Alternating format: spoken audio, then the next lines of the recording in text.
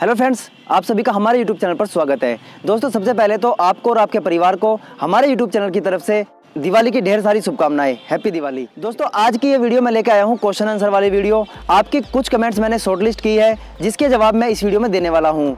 Video को and तक देखिए, बिना स्किप किए देखिए, क्योंकि इस वीडियो में आपका सवाल भी हो सकता है, जिसका मैंने आंसर दिया है। तो सबसे पहले जो कमेंट की है, वो की है अमित सिरोही ने।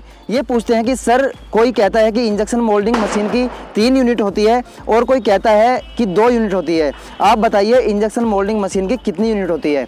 तो भाई जो कहते हैं कि तीन यूनिट होती है, वो भी सही है। जो ये कहते हैं कि इंजेक्शन मोल्डिंग मशीन की दो यूनिट होती है, वो भी सही है। अब आप समझ लीजिए कैसे। देखिए, जो कंपनी की ओर से कहा जाता है या जो रूल रेगुलेशन में है, वो होती है दो यूनिट एक तो होती है इंजेक्शन यूनिट और दूसरी होती है क्लैंपिंग यूनिट लेकिन जो थर्ड यूनिट है मोल्ड यूनिट वो हम अपनी तरफ़ से जोड़ देते हैं। और जो हम अपनी तरफ़ से जोड़ देते हैं, वो भी कोई गलत नहीं है। तो आप कह सकते हो कि इंजेक्शन मोल्डिंग मशीन में दो यूनिट होती है, लेकिन तीसरी यूनिट जो मोल्ड यूनिट है, वो हम अपनी तरफ़ से जोड़ देते हैं। तो ये कौन कौन सी यूनिट है? पहली यूनिट होती है इंजेक्शन यूनिट, दूसरी होती है क्लैंपिंग यूनिट। जो तीसरी यूनिट हम जोड़ते हैं अपनी तरफ़ से, वो होती है मोल्ड यूनिट। तो चलिए चलते हैं दोस्तों अपने नेक्स्ट क्वेश्चन की ओर। ये पूछा है नितुल दास ने। ये पूछते हैं कि, सर, पीएलडी मटेरियल का फुल नेम क्या है? असल में ये पूछना चाहते हैं कि एलडीपी मटेरियल का फुल नेम क्या है? इन्होंने गलत कमेंट कर दी। मैं बता देता हूँ कि एल मटेरियल की फुल फॉर्म क्या है? इसकी फुल फॉर्म है लो डेंसिटी पोली इथाइलिन आपने गलत क्वेश्चन किया था लेकिन मैंने सही बता दिया है। तो चलिए चलते हैं नेक्स्ट क्वेश्चन की ओर। ये पूछा है समंथा राज ने। ये पूछते हैं कि sir what is shot capacity what is shot weight तो दोस्त इसके लिए मैंने वीडियो बनाई हुई है। आप मेरी प्लेलिस्ट में जाकर पार्ट उनचास को देख सकते हो।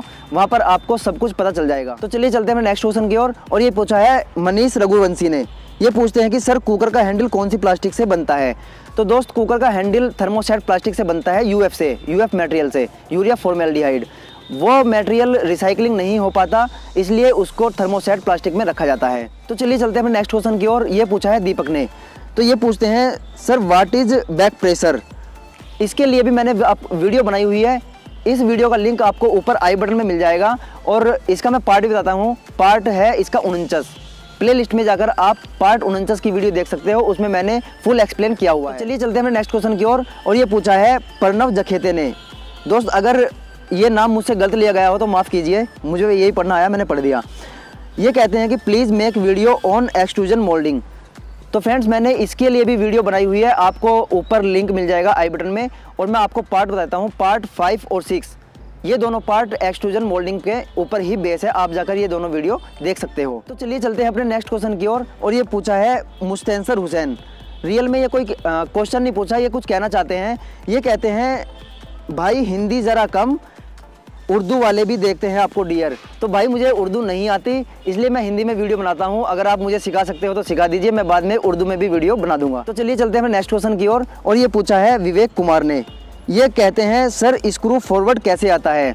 तो भाई स्क्रू फॉरवर्ड मोटर के द्वारा आता है और जो इंजेक्शन यूनिट है, वो हाइड्रोलिक सिलेंडर के द्वारा फॉरवर्ड आती है और जो स्क्रू आता है, वो मोटर के द्वारा फॉरवर्ड होता है। तो चलिए चलते हैं फिर नेक्स्ट क्वेश्चन की ओर और ये पूछा है, नीरज कुमार ने ये पूछते हैं कि, सर चार पाँच शॉट के बाद ख़राब शॉट आना इसका कारण क्या है? तो भाई, इसके कई सारे कारण हो सकते हैं। मोल्ड का टेम्परेचर कम या ज़्यादा होना। बैरल का टेम्परेचर कम या ज़्यादा होना इंजेक्शन प्रेशर का कम या ज़्यादा होना इंजेक्शन स्पीड का कम या ज़्यादा होना तो ये कोई एक बात पे डिपेंड नहीं करता कि कारण क्या हो सकता है। इसके बहुत सारे कारण हो सकते हैं।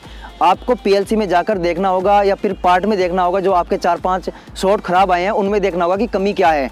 सिंक एज आ रहा है या फिर ब्लैक मार्क आ रहा है ब्लैक स्पॉट आ रहा है, जो भी आ रहा है, आप उसी के अनुसार ठीक कर सकते हो।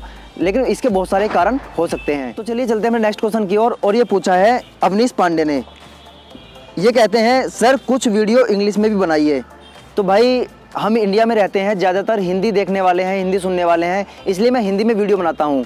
और अगर मेरे सब्सक्राइबर कुछ ज़्यादा हो जाएँगे इंग्लिश जो जो इंग्लिश में वीडियो चाहते होंगे मैं इंग्लिश में भी वीडियो बना दूँगा आने वाले टाइम में। लेकिन जो मेरे सब्सक्राइबर हैं वो इस टाइम हिंदी पसंद करते हैं इसलिए मैं हिंदी में वीडियो बनाता हूँ। तो चलिए चलते हैं फिर नेक्स्ट क्वेश्चन की ओर। और, और ये पूछा है पंकज शर्मा ने। ये कहते हैं सर मुझे मेंटेनेंस का काम सीखना है। कोई सिखाता हो तो बताओ। तो भाई मैं आपको सलाह देता हूँ आपको एडवाइस देता हूँ कि अगर आपको पैसे देकर काम सीखना है तो मत सीखिए। बेस्ट ये रहेगा बेटर ये रहेगा कि आप किसी कंपनी में ज्वाइनिंग कीजिए फ्रेशर के रूप में कि आप एक फ्रेशर हैं आप मेंटेनेंस डिपार्टमेंट में ज्वाइनिंग कीजिए। बेशक आपको सैलरी कम मिले आपको सैलरी मिल जाएगी आपका खाना खर्चा चल जाएगा। आप कम सैलरी पे काम कीजिए एक साल दो साल आप मेंटेनेंस का काम फुल सीख जाओगे। लेकिन पैसे दे के आप काम सीखोगे वो ठीक नहीं रहेगा। आप कंपनी में ज्वाइनिंग कीजिए मेंटेनेंस डिपार्टमेंट में फ्रेशर के रूप में और फिर वहाँ पर आप सारा काम सीख जाओगे। बेटर यही रहेगा। तो चलिए चलते हैं नेक्स्ट क्वेश्चन की ओर और, और ये पूछा है पुष्पेंद्र गुज्जर ने। ये कहते हैं plastic is a organic material every plastic is a polymer but every polymer is not plastic yes भाई, आप सही कहते हैं कि सारी प्लास्टिक पॉलीमर होती है, लेकिन सारे पॉलीमर प्लास्टिक नहीं होते। प्लास्टिक एक ऑर्गेनिक यानी कार्बनिक है। आपने सही लिखा है, आप किसी वीडियो पे मैंने क्वेश्चन किया था, उसका इन्होंने आंसर दिया है। तो दोस्त, ये थे कुछ आंसर क्वेश्चन आंसर जो मैंने इस वीडियो में शॉर्ट लिस्ट किए हैं। अगर आपका भी कोई क्वेश्चन है, कोई सवाल है तो आप इस वीडियो के नीचे कमेंट करके पूछ सकते हो। अगली आने वाली वीडियो में मैं उसका जवाब आपको ज़रूर दूँगा। दोस्तों, अगर आपको ये वीडियो अच्छी लगी है तो वीडियो को लाइक कीजिए, अपने दोस्तों में शेयर कीजिए और नीचे एक प्यारा सा कमेंट भी कर दीजिए। और चैनल को सब्सक्राइब करना ना भूलें, अगर आप इस चैनल पर नए हैं। और जिनके मैं क्वेश्चन इस वीडियो में शॉर्ट लिस्ट नहीं कर पाया, उनसे मैं माफ़ी माँगता हूँ। अगली आने वाली वीडियो में कोशिश करूँगा कि आपके क्वेश्चन का आंसर भी मैं ज़रूर दूँ। तो दोस्तों, आज की वीडियो में बस इतना ही। हैप्पी दिवाली एक बार फिर।